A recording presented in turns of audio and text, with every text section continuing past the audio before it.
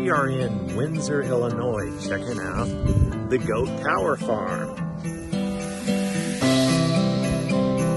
This tower is 7 feet in diameter and has 276 steps to the top. Oh, look, here come the goats themselves.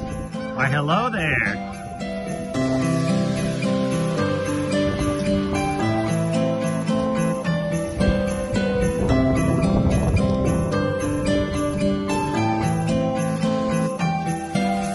This goat tower was built by Mr. David Johnson in 1998 and is the largest goat tower in the entire world.